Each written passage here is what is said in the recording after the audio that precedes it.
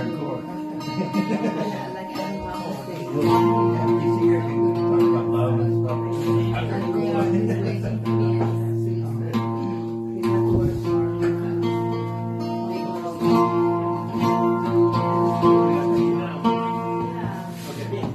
in the 1970s. Fuel crisis had begun. The choices were presented to us as if we had none. Of industry said they could solve the problem by mastering the power of the radioactive atom. Some folks in western Jutland got a notion in their heads. They thought there might be something they could offer up instead. Few hundred people gathered at a little place called Tvind and declared their will to harness the power of the wind.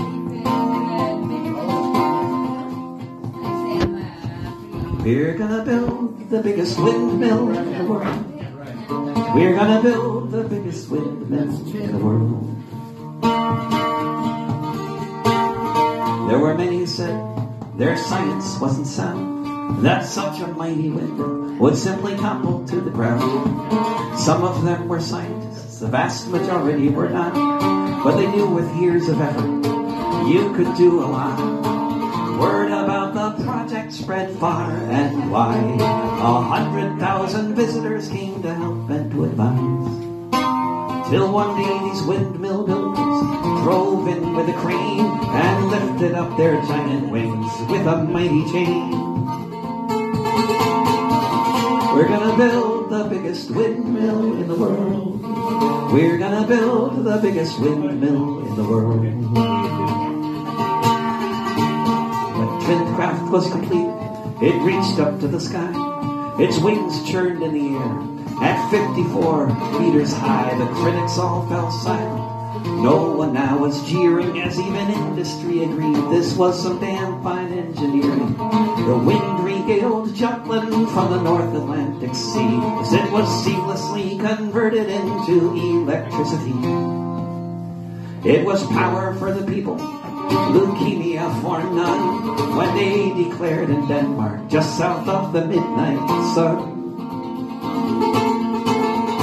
We're gonna build the biggest windmill in the world. We're gonna build the biggest windmill in the world. They gave away the patents. They said knowledge should be free. And their plans were copied by a newborn industry.